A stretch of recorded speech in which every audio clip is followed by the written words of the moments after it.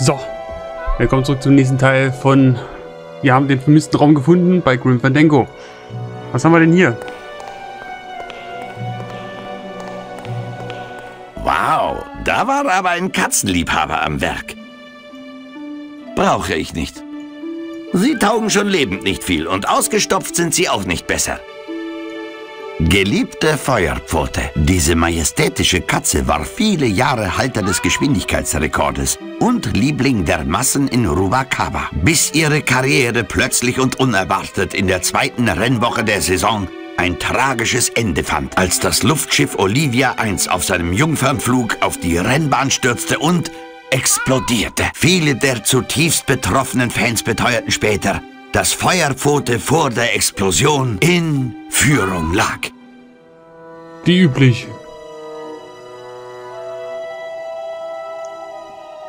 So, mehr ist hier nicht, ne? Ne, dann gehen wir in den Raum hier. Fuji, dieser Geruch. Es peor que la muerte. Wer ist tot? Guck mal hier. Da steht revolutionäres Design. Öffnet Futterdosen ohne scharfe Kanten. Mitnehmen.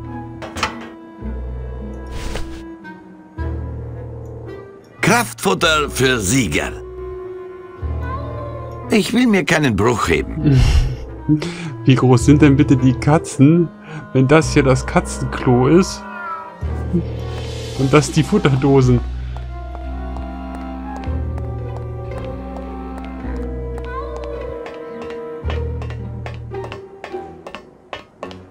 Das Katzenstreu müsste dringend mal ausgewechselt werden. Das ist genau der Grund, aus dem ich kein Haustier habe.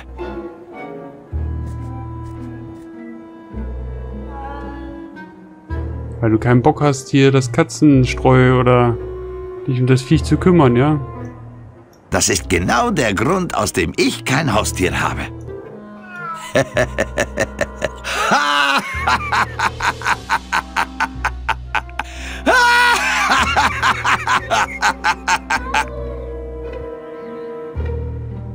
gesagt, du sollst das nehmen. Da lachst du mich nur aus. So verlockend es auch sein mag, ich kann mich nicht dazu durchringen, in das riesige, dreckige Katzenklo zu springen.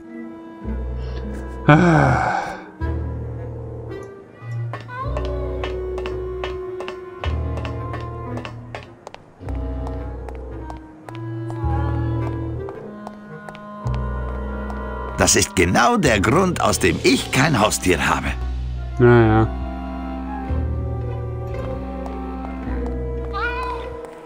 Mau.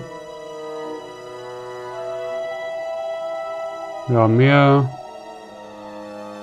ist hier nicht.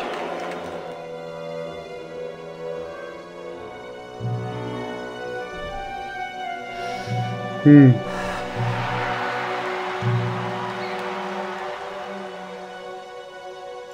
Hinten ist nichts, ne?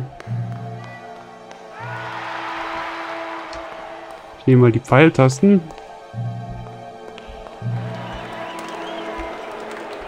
Ne?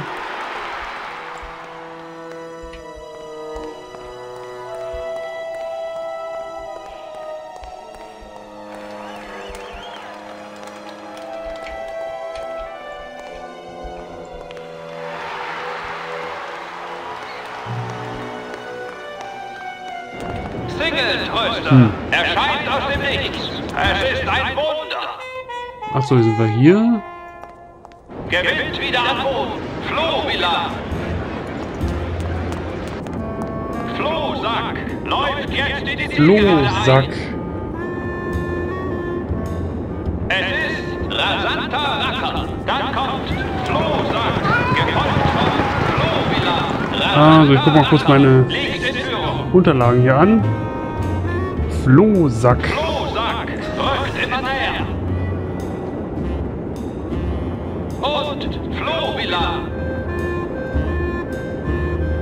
Rasanter Racker hält sich verbissen. Rasanter Racker läuft auf die Zielgerade zu.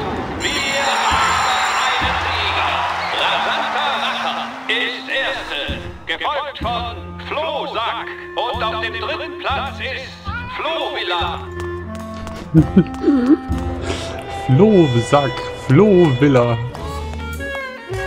Also nee, äh, war ich ja schon dreimal.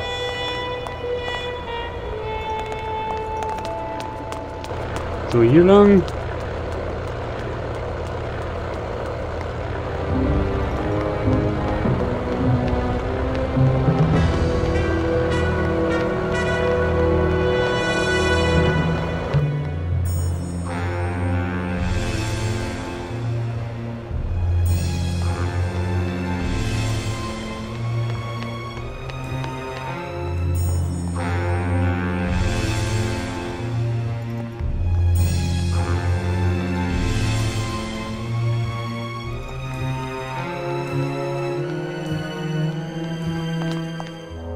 Das ist der Knast.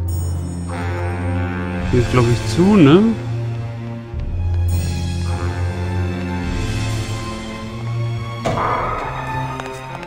Ach ne, das ist das Leichenschauhaus. Nee. Jetzt hier hin. Achso, da sind wir wieder hier.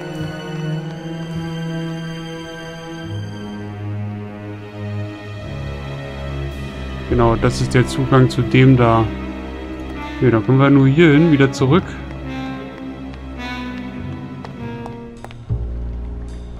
Oh, hier haben wir noch was noch nicht gesehen. Um, I think we're gonna come up to Garv's set that I destroyed. That that I destroyed two weeks of Garov's work um, by trying to learn how to 3D model, and somehow I ended up erasing two weeks of his work. Because it was the the fish place that that you had to redo. Oh yeah, the elevator. Yeah, the elevator and that that place with the fish. Warte mal, was war hier oben? Aha. Hier waren wir noch nicht. Calavera Café.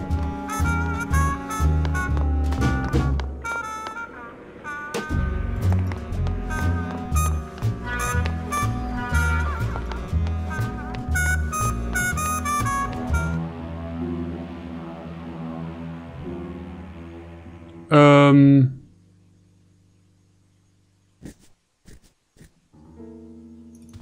Da.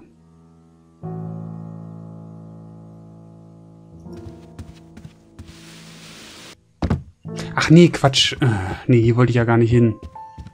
Das ist ja unser Café. Nee, das war jetzt hier Unfug. Ich wollte ja in das andere Café.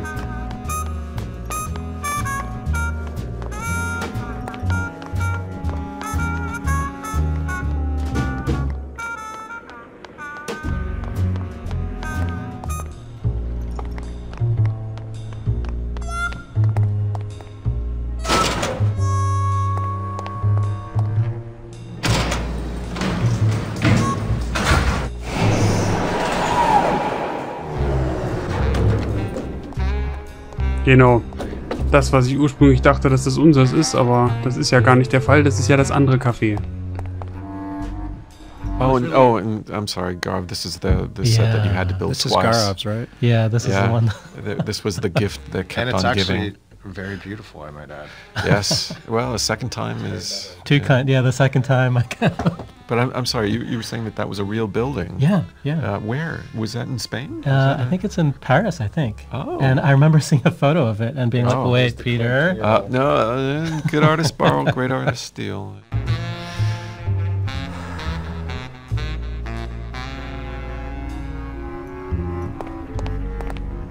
Blue Casket. Klingt einfach nicht so knackig wie Calavera Café, nicht wahr? Gewiss, ja.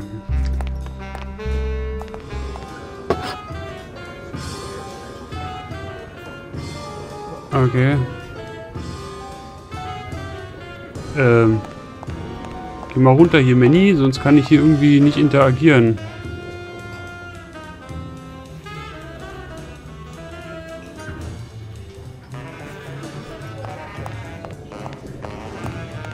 Sieh sich einer die an. Die sehen aus, als wären sie vor Langeweile gestorben. Hi, wie heißt du?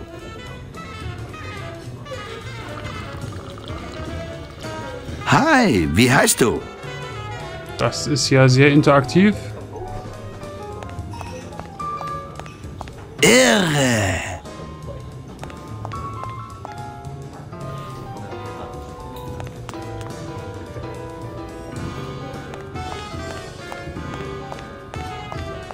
Nein.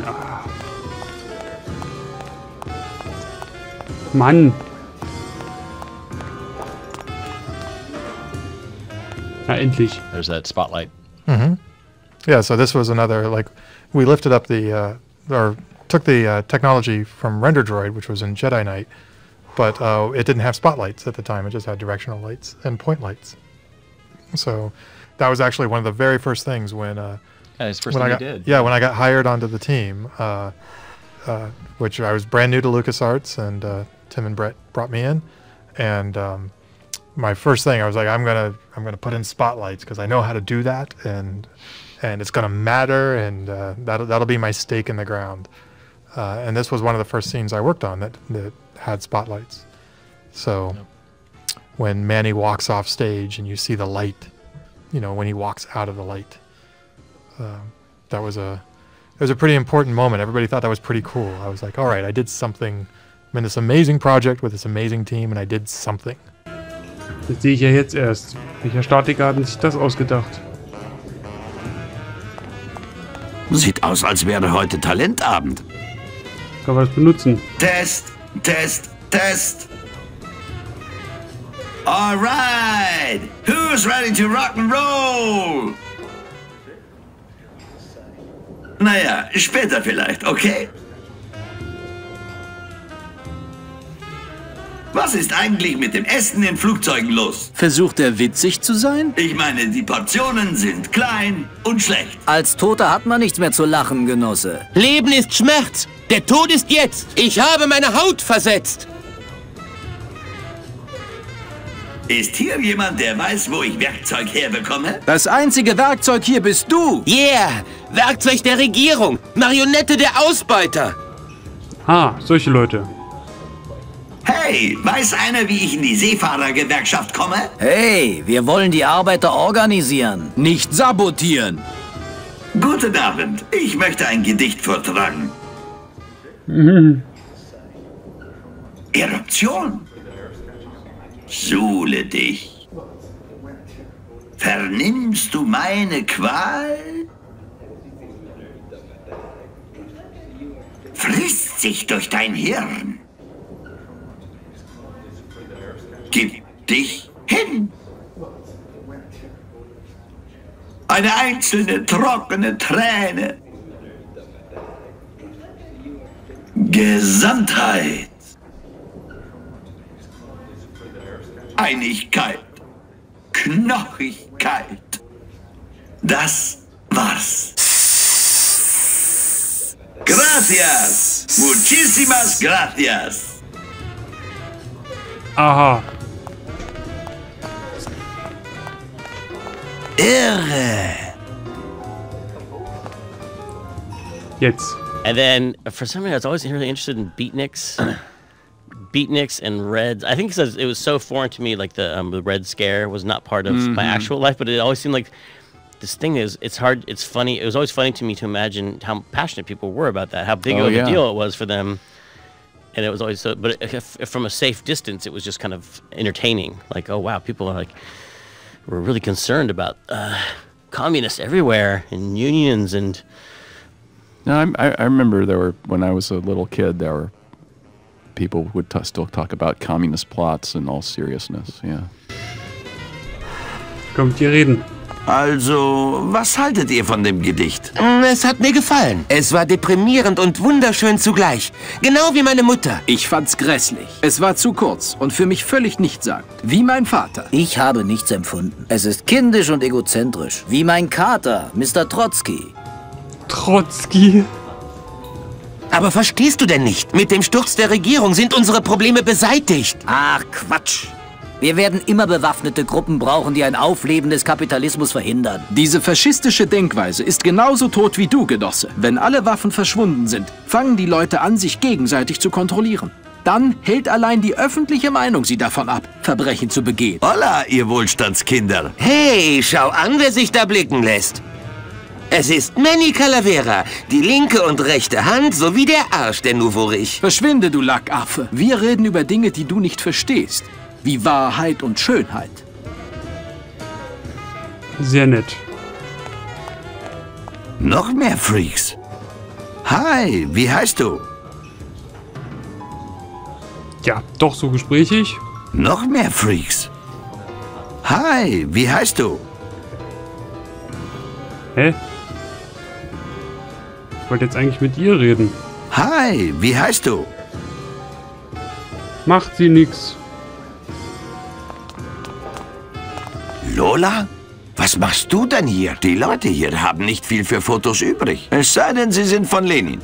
Ich liege auf der Lauer, Manny. Ich werde Maximino ein für alle Mal beweisen, dass Olivia ein falsches Spiel mit ihm treibt. Du hängst immer noch an Max, was? Hör auf meinen Rat, Engelchen. Vergiss ihn. Er ist ein Gangster und Spieler. so wie du? Oh, das tut weh, Baby. Psst, da kommen sie.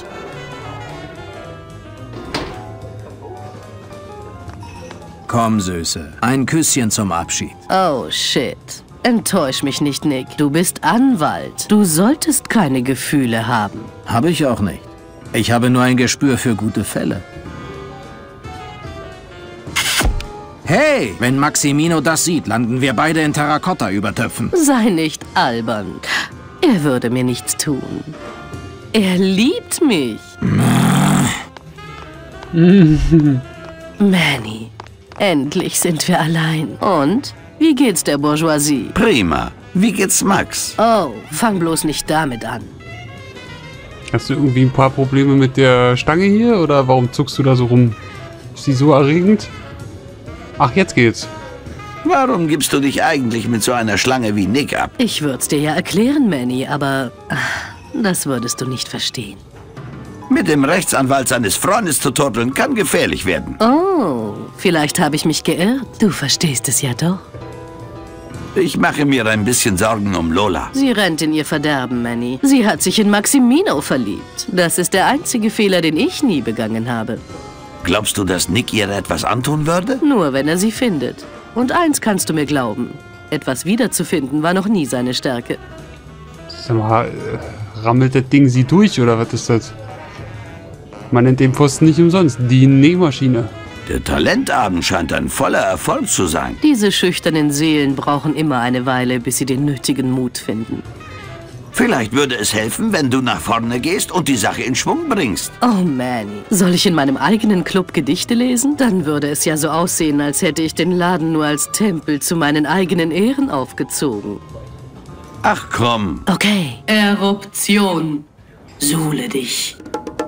Vernimmst du meine Qual? Frisst sich durch dein Hirn.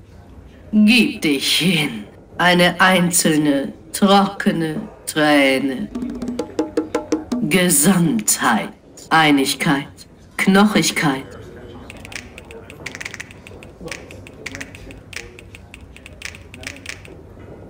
Hey, du hast mein Gedicht geklaut. Betrachte es als Hommage. Hm, wollte gerade sagen, das kommt mir sehr bekannt vor. Bisschen dunkel hier, findest du nicht? Dunkel und kalt. Wie die Herzen der Männer. Äh, Genau. weißt du, ich überlege, ob ich den Laden hier kaufen soll. Wirklich. Ich habe eine Weile überlegt, deinen zu kaufen. Aber dann habe ich mich entschlossen, ihn von meinem Freund Max kaufen zu lassen. Du kannst ihn haben. Ich verlasse die Stadt. Manny, du sagst plötzlich so aufregende Sachen. Warum willst du die Stadt verlassen?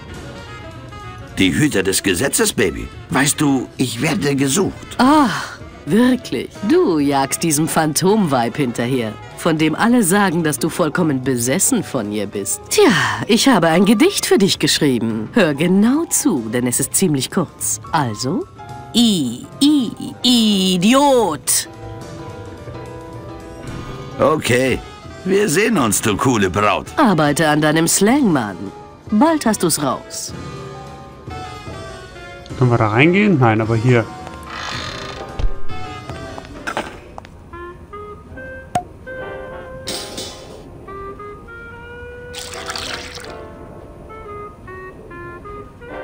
Nur ein Tropfen reicht. Hey Mann, du hast doch nicht etwa gesehen, wie ich die geheime Zutat in die Zombies getan habe, oder? Entspann dich. Olivia hat das Rezept ohnehin von mir geklaut. Ja, sie nimmt es den Reichen und ich darf den Armen davon nachschenken.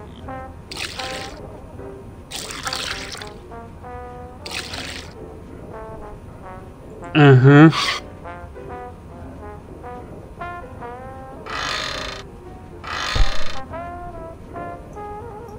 Die Teller sind dreckig. Ich will keine dreckigen Teller. Ich esse nicht von dreckigen Tellern und spülen werde ich sie erst recht nicht. Die Spüle ist voll mit dreckigem Wasserpfeifenwasser. Ich werde die Brühe bestimmt nicht trinken und mitnehmen kann ich sie mit bloßen Händen auch nicht. Ich werde die Ja, Brühe ja. bestimmt nicht trinken und mitnehmen kann ich sie mit bloßen Händen auch nicht. Der Geschirrspüler ist leer. In the final version of the game, are the backgrounds actually just pre-rendered flats? Yes, they are. See, that's that's Yeah. amazing to me because you know we live in the world of 3D now. and We're used to floating the camera around inside of these things, but you know once you chose your camera ang- angle to pre-render something, that was it. There you go. No, it's it's Manny walking around in a blank 3D room with Z depth uh, data to clip him in front of the um, the stuff that he needs to clip in front of. Nicht tragbar. Ohne wie ein Kapitalistenschwein klingen zu wollen. Ich habe Leute, die das für mich machen. Mhm. Sieht nicht so aus, als wäre das Putzzeug hier besonders oft in Gebrauch. Ich brauche wirklich keine Putzutensilien. Och, Das überlasse ich lieber dem Kellner.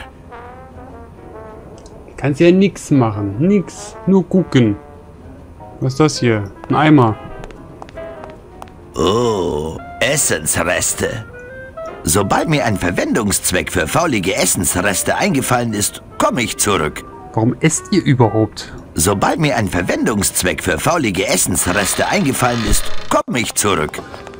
So, wir können...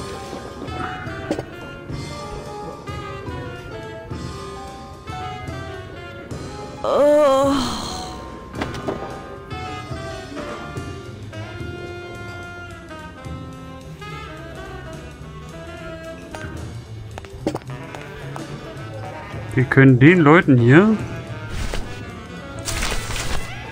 Äh... Manuel, es tut mir Ja, sehr genau. leid, dass du noch nichts von deiner Metsche gehört hast. Gedulde dich. Du darfst dein Herz nicht verschließen. Wenn es eure Bestimmung ist, werdet ihr eines Tages wieder vereint sein. Ah, er glaubt noch immer, dass ich in sie verliebt bin. Die können wir mal denen hier geben. Hey, habe ich euch je erzählt, dass ihr mich an einen meiner Freunde erinnert? An Salvador Limones? Salvador Limones ist ein Armenmärchen, das die Ausbeuter den Massen als gute Nachtgeschichte erzählen. Idiot! Salvador Limones ist sehr real und wahrlich ein großer Mann. Er ist außerdem auch ein gefürchteter Briefeschreiber. Was ist denn das? Ich, Salvador Limones, salutiere vor dir, Manuel Calavera? Wichtiger Verbündeter in dieser gerechten Sache? Du kennst Salvador Limones? Wie ist er denn so? Warum hast du uns nie gesagt, dass du ein Freiheitskämpfer bist, Manuel? Ich kann nicht über meine Untergrundarbeit reden, sonst bringe ich die ganze Szene in Gefahr. Wow. Krass. Hey, ich muss gehen, also, äh... Viva la Revolution. Oh Mann! Guck mal, hier ein Buch. Gewerkschaftsgründung und Revoltieren leicht gemacht. Sollen wir das mitnehmen? Macht es euch was aus, wenn ich mir das Buch mal ausleihe? Klar, Mann. Bedien dich. Ha. So, und was wir damit anstellen, gucken wir uns im nächsten Video an. Ich bedanke mich fürs Zuschauen. Bis gleich.